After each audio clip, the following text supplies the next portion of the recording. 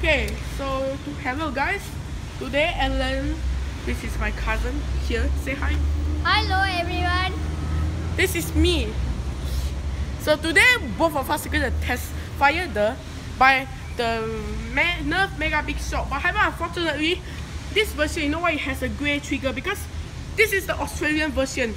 This was made because the original BigShock, the level is too high for the for a proper for proper uh, energy level. So this This- one is a weaker version, Australian version. And the orange trigger is the It's the normal version like this. Grey trigger means a weaker one. Okay, Aaron? Let's commence the shooting. Uh, first level or what? you will test, ah? I will, I will make a video, okay? Okay. Test. First first Okay. level. Okay. Level. First shot will be the higher one.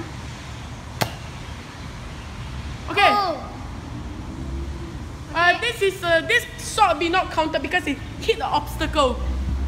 Do not fire.